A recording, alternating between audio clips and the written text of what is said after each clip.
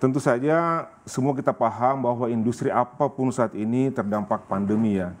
Oleh karena itu uh, manajemen harus pandai-pandai membaca mana yang harus kita dorong lebih penting prioritas, mana harus kita tahan. Maka di brainstorm seperti itu kita bedah lagi, kita identifikasi mana anggaran-anggaran capex modal investasi yang memang tidak bisa ditunda dan yang mana yang bisa ditunda.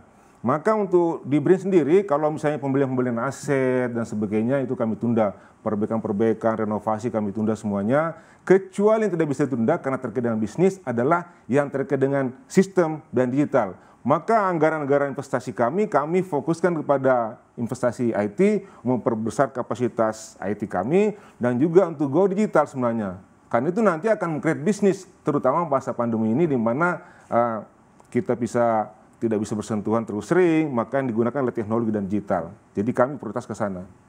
Okay. Kami tunda yang lainnya. Oke, okay, berapa besar Pak kalau boleh tahu?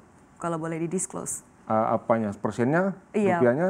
Iya, apa pun angka yang boleh didisclose. Jadi ke saya bicara persen aja ya. Hmm. Dari anggaran capex kami itu separuh di antaranya adalah untuk investasi aset sebenarnya, bangun, perbaiki uh, gedung, membeli tanah, atau kemudian kendaraan, itu semua kami tunda.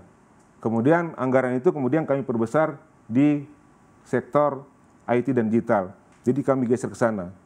Tentu saja tidak semua bisa masuk, maka ada anggaran sebagian tidak bisa dipakai. Seperti itu, apa boleh buat seperti itu. Oke, dan kemudian sekarang kalau kita lihat ini Pak, sebenarnya kalau berdasarkan data OJK per Juni 2020 kan sebenarnya pertumbuhan premi ini melambat 10% year on year untuk industri ya, tapi di saat uh, situasi industri seperti ini, BRI Insurance ini masih bisa mencetak kenaikan laba hingga 25 persen. Nah, apa sih Pak yang menjadi kunci dari uh, kemampuan BRI Insurance ini untuk mempertahankan kenaikan laba? Oke, baik. Mari kita lihat sumber laba itu sebenarnya dari mana? Tentu dari growth bisnis kan. Tapi mari kita lihat juga bahwa pada masa pandemi seperti ini, growth bisnis, pertumbuhan bisnis nggak bisa diharapkan terlalu banyak mencetak laba.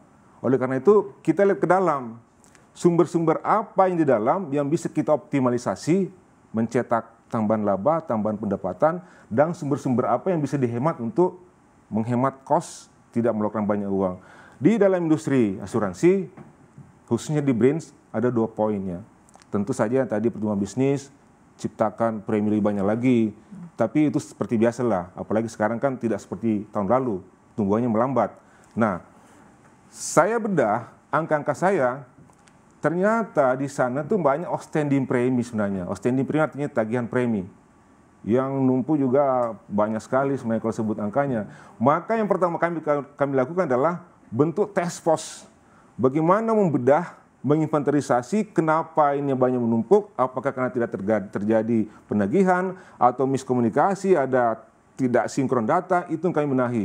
Dan itu bisa menciptakan pemasukan yang banyak Outstanding premi kami kemarin banyak, bisa turun sampai tinggal 5 persen. Dari angka yang hampir 800 miliar sebenarnya itu kemarin tuh. Walaupun banyak di antaranya sudah tidak bisa dijadikan uang, tapi itu turun. Yang kedua adalah efisiensi. Efisiensi itu juga banyak banyak juga mendapatkan penghasilan. Contoh begini, ketika kita mendigitalisasi, yang selama ini kita menjual menjual asuransi dengan banyak kertas, ya kita berikan polis pakai kertas, kita kirim pakai angkutan. Setelah digitalisasi kita terbitkan polis digital, e-polisi, ini juga menghemat banyak ternyata. Karena di sana nggak pakai uang lagi kan? Cukup signifikan ternyata Sangat ya Sangat signifikan. Jadi dua poin sebenarnya, tumbuh nggak bisa karena terkendala pandemi, maka carilah sumber-sumber income dari dalam, baik yang bisa menciptakan pemasukan maupun yang bisa menghemat cost seperti itu sebenarnya. Dari